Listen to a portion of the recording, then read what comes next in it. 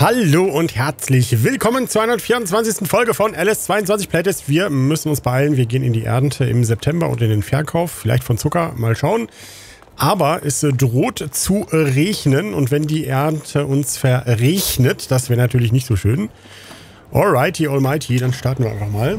Und ähm, ja, als erstes würde ich sagen mit dem Raps. Und natürlich werden wir auch, äh, wenn wir dazu kommen, in dieser Folge noch reichlich verkaufen an Sachen, die wir bis jetzt noch nicht verkauft haben. Ich weiß gar nicht, wann der Müsli eigentlich seinen äh, richtigen äh, Zeitpunkt zum Verkaufen hätte. Das, äh, da bin ich mir gerade gar nicht mal so sicher. Oh, ich weiß übrigens gar nicht. Ich fahre gerade hier hin, aber der ist vielleicht noch gar nicht reif, fällt mir gerade ein. Äh, dann haben wir nur verkaufen und noch nicht ernten. Das kann natürlich auch sein.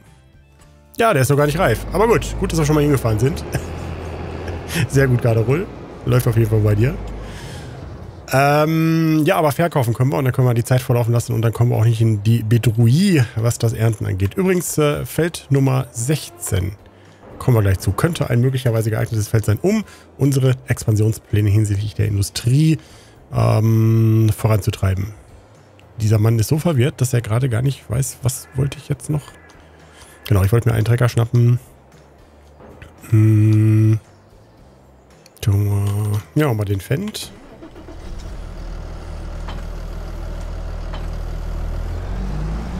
Und äh, ja, wir müssen nämlich noch düngen. Beim Düngen natürlich immer, immer nie vergessen, dass wir natürlich auch jetzt die Düngersträume auffüllen müssen. Easy. Easy peasy Gregor Gysi. So, schauen wir mal, ob wir dazwischen kommen. Huch. Ah, ah, ah, ah, ah dieses Nachlaufen von den Maschinen, ne? das ist ein bisschen extrem. Das kann man, glaube ich, auch einstellen, oder? War das nicht so? Ja. Ich finde es übrigens äh, wirklich ganz, ganz, ganz, ganz toll, wie viele Kommentare ihr mal schreibt und ich lese die so gerne und das macht mir Spaß, macht euch Spaß. So soll es ja auch eigentlich sein. Deswegen keep going. Let it flow. Wie auch immer.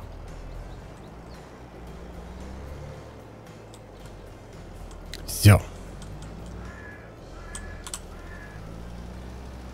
Dann kann der nämlich hier schon mal loslegen.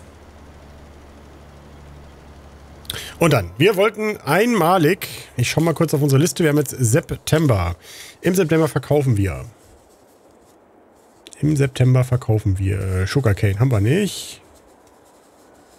Das war's von den Sachen. Und dann hier Kleidung, jawohl, und Zucker. Gut, Kleidung und Zucker. Würde ich sagen, nehmen wir beides direkt mit. Zucker wird ja wahrscheinlich auch Gucken wir mal kurz nach. Aber ich nehme an, Zucker wird auch verkauft im Le Jardin. hm, machen wir aber nur einmalig. Einfach noch mal so ein bisschen Gefühl dafür zu bekommen, äh, was bekommen wir denn für Zucker. So, wo ist denn der Zucker? Verdorri nochmal. Da ist er. Genau. Le Jardin. Da verkaufen wir dem Le Jardin. so. Da ist er nämlich schon. So, wie gesagt, äh, ich würde Giants echt empfehlen, das mal rauszunehmen. In der gegenwärtigen Situation finde ich das irgendwie schwierig. So, dann nehmen wir Kleidung. Und Zucker.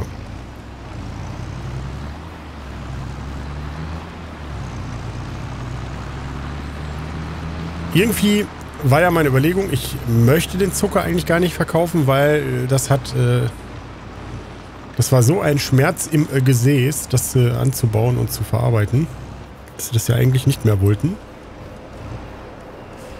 Und ja, Artikris, ich habe dein Wortspiel in deinem Kommentar auf Garderol Plus sehr wohl gesehen. Ja, ich mache gerade die Geste, ich zeige auf meine Augen und dann zeige ich auf dich. So. Just saying. Kommt da noch was?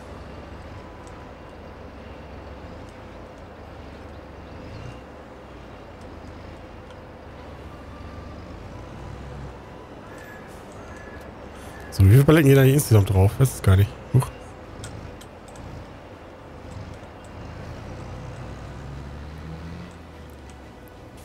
Ja, und dann erzähle ich euch noch was zu Feld Nummer 16. Da ist der erste Müsli. Oh, hab ich gar nicht dran gedacht. Der ist ja auch noch da. Dann lassen wir eben kurz einfahren Richtung Le Jardin.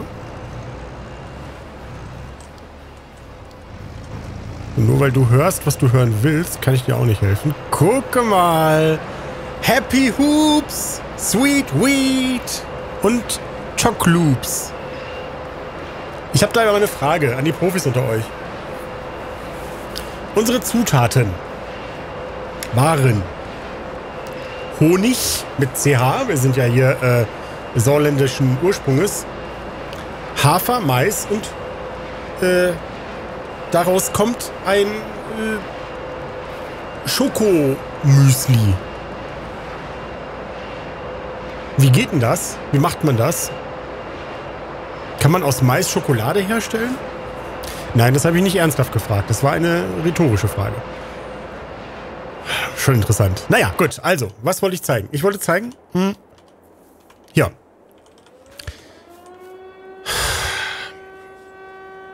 Ich finde es echt suboptimal. Wir haben ähm, dieses Feld, habe ich mir überlegt, könnte möglicherweise gegebenenfalls äh, ideal sein. Guck mal, das liegt zentral. Äh, es hat den Anschluss an die, an die, zeig das mal gerade hier, warte mal, gib mir meine Maus her, danke. Es, kann, es hat den Anschluss hier runter an diese Straße und dann kann man hier lang fahren. Es hat den Anschluss hier runter an diese Straße und man kann hier oben hin zum Verkaufen fahren. Das Einzige, was es nicht so gut hat, ist, hat den Anschluss hier oben gut zu den Feldern. Da ist hier dieser dämliche Bahnübergang, der immer nie richtig funktioniert. Und äh, wenn man hier runter will, dann muss man in der Tat entweder hier oben rum. Also es geht nur hier oben rum oder ganz hier unten rum und dann da lang. Geht aber auch noch, ne? Also es ist ein kleiner Umweg, würde ich sagen. Ja, und von der, von der, von der, von der Ausgestaltung des Feldes her, glaube ich, könnte das so ein Feld sein, wo wir jetzt nicht unbedingt, also im Leben nicht und dann nicht irgendwie da tausende von Sachen anbauen werden, sondern da könnte man wirklich hier überlegen, ob wir hier ein neues Industriegebiet entstehen lassen. Ist ein bisschen außerhalb der Stadt. Das ist dann so ein es gibt ja auch äh, in unserer Städteplanung, ne, dass man so Industriegebiet, äh, Industriegebiete auswärts anlegt, nennen wir es mal, ja. Und ähm, ist eines der wenigen Felder, was halbwegs groß genug sein könnte und nicht an so einer wirklich extremen, extremen, extremen Hanglage liegt. Ne? Und das äh, wäre eigentlich ganz gut. Dann kann man von hier relativ direkt dann hier oben zum Verkauf kommen. Und ja, ich glaube, das ist ganz gut so.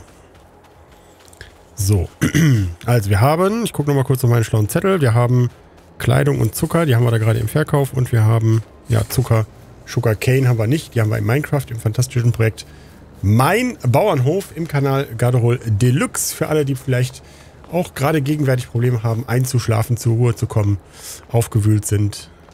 So viel tolles Lob, was ich für dieses Projekt bekomme. Ähm, dass es Menschen hilft zum Einschlafen, finde ich wirklich toll und äh, es macht mir auch wirklich wirklich Spaß mit euch da zu spielen. Und es könnte sein, dass das das, dass das, das neue Projekt wird mit dem mit einem neuen ähm, Größenrekord. Denn bisher ist das Factorio. Mal gucken. So, der Chef fährt mal eben wieder selbst. Er wiegt ein bisschen, ne? So Zucker. Hat schon eine recht hohe Dichte, oder? Versus, keine Ahnung, was, was, kann ich mir gerade mal ausdenken, was jetzt nicht so eine hohe Dichte hätte? Erdbeeren. Nein, ähm, Kleidung hm, kann auch schwer sein, ne? Wenn man die Vakuum, vervakuumiert und dann schön ineinander packt. Was redet dieser Mann da eigentlich die ganze Zeit?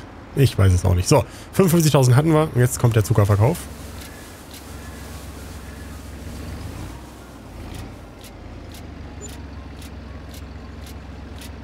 Das ist blöd, dass dieses Cosplay-Ding hier das verdeckt. Ziehen wir mal ein bisschen runter. 64.000. Sehr schön. Äh, übrigens finde ich dieses, dieses ganze Ding hier wirklich sehr, sehr cool. Ja, wenn man mal schön sehen kann, was läuft, was ist fertig und wenn ja, wie viele. Und mit dem fahren wir jetzt wieder zum Hof, weil wir wollten ja möglicherweise gegebenenfalls den hier dann auch mal einsetzen, um so ein bisschen zu gucken, was wir sonst noch machen. Kann man denn jetzt eigentlich da hinspringen? Ja. Warum hat das denn, warum war das denn jetzt Cosplay? Oder hat einfach nur Cosplay mich informiert? Wisst ihr das? Dann schreibt es mal gerne in die Kommentare. So, der ist gedüngt. 35 müssen wir noch düngen. Sehr gut. Und dann geht es in der nächsten Folge in die Ernte oder so. Keine Ahnung. Mal gucken. Ja, ebenfalls großer Dank, großer, großer Dank an alle Unterstützer auf Gradro Plus. Das bedeutet mir wirklich sehr viel und es macht auch immer wieder Spaß, daran zu basteln. Neu übrigens das Entwickler von Plugins unsere Fehlermeldung oder Anregung mitnehmen und Funktionen einbauen. Das macht wirklich Spaß.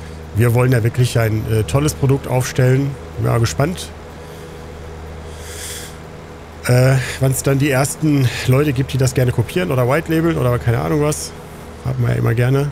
Es ist ja auch nicht die Innovation. Äh, ich glaube, so Plus-Sachen gab es ja, gibt ja auch GameStar Plus und so gibt es ja, glaube ich, auch, ne?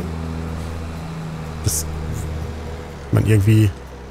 Ach, stimmt, genau. Das gibt es ja auch bei so großen Zeitschriften ohnehin online, ne? Dass man mit Plus dann irgendwie für, so wie bei uns, so für 3, 4 Euro oder so, auf Inhalte zugreifen kann, genau. So. Wobei man da, glaube ich, trotzdem noch Werbung bekommt und bei uns nicht, ne? Ah, ich glaube, es kommt aufs Angebot an. Es kommt aufs Angebot an. Will jetzt auch nichts Falsches sagen. Gut, also. Kleidung verkauft, Dings verkauft. Gucken wir kurz nach den Tieren. Ich wollte gerade nach den Spielen, aber wir gucken nach den Tieren im Spiel. So wird ein Schuh draus. 119.000 übrigens. Wenn wir schon uns überlegen, ob wir dieses Feld uns holen sollten, sollten wir auch mal gucken, was kostet es. Es kostet 209. Das heißt, im nächsten Monat werden wir uns das leisten können. Aber dann müsst ihr natürlich überlegen, müsst ihr natürlich auch noch entsprechend die Dinge bauen, die wir dann da brauchen. Zum Beispiel eine Molkerei. Denn hier bei den Kühen stellen wir fest, der Milchtank dürfte wieder fast voll sein. Genau. Da müssen wir da auch nochmal wieder ein bisschen pendeln. Denn, gucken wir mal kurz. Die Molkerei, die sagt mir, es... Oh. Fehlt Milch, oder? Nein. Doch. Äh, bin, wo bin ich denn hier? Da bin ich. Käse und Butter. Ah, ich muss die mal wieder leeren. Aber wir könnten zur Not noch ein bisschen Milch reinpacken. Dann machen wir das auch mal. Da übrigens nochmal der Hinweis, ja, das geht vollautomatisch, aber nein, ich mache das eigentlich nicht. Aber wir könnten das mal automatisch machen, denn eigentlich, wenn das jetzt gerade ohnehin nebenher läuft, kann er das auch vollautomatisch machen, denn er bleibt dann stehen. Wenn zum Beispiel das Ziel des Abladens, boah, ja, diese illegalen Werbeanrufe, ne? Wenn das Ziel des Abladens voll ist, dann wartet er da einfach, bis er wieder irgendwas runterladen kann oder äh, runterladen, runter äh, abladen kann. Und ähm, beendet das ganze Spielchen dann. So.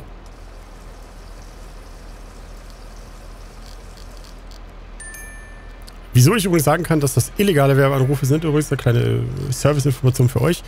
Äh, wenn ihr nirgendwo eure Nummer angebt und eine schriftliche und es ist wirklich schriftlich zu erteilen, ähm, Einverständniserklärung erteilt, dass man euch anruft. Also ihr sagt dann wirklich, ja, ich bin damit einverstanden, dass ich angerufen werde dann dürf, darf euch niemand einfach so am Telefon anrufen in Deutschland. Ist so. Wissen viele gar nicht. Ist so. Das heißt, ihr könnt davon ausgehen, wenn euch da irgendwer anruft und hier äh, Service, dies, das, irgendwas, oder was sich bestellt, geht es in der Regel um Betrug oder Telefonvermarktung oder Telefonumfragen. Alles drei will man eigentlich nicht auf seiner Matratze, auf seiner Matratze, auf seiner, wer ist das? Vor der, vor der Tür? Fußmatte. genau. Matratze. Stell dir das vor, ihr habt eine Matratze als Fußmatte. Wow. So. Dann kann der das jetzt automatisch machen, genau. Ich muss ja sagen, das, das war ganz praktisch, als wir mit dem Kalender gespielt haben, dann wussten wir, wann die Sachen fertig sind. Ne? Das war der Vorteil beim Kalender. Es gibt also immer Vor- und Nachteile wie im gesamten Leben. So, Eier, Reproduktion, Effektivität. Da ist alles in Dortmund. Bei den Kühen müsste eigentlich auch alles in Dortmund sein. Da können wir auch nochmal gucken. Hm. Aldi Lidl Kombi Selex, weil hier ist nämlich voll. Genau. Und hier habe ich noch gesehen, hier läuft ja der Futterroboter. Und übrigens, selbst wenn der Futterroboter irgendwann mal nicht mehr genügend von irgendwas hier drin haben sollte, ist immer noch eine Reserve von Futter überhaupt bei den Tieren. Das Einzige, wo wir immer mal ein bisschen drauf achten müssen, ist das Mineralfutter, weil das geht natürlich aus. Und dass wir regelmäßig hier die Wiese mähen. Aber die ist ja auch noch nicht reif. So, der ist fertig. Vielleicht, weiß ich nicht. Manchmal funktioniert das ja nicht so gut. Tja, hier nochmal.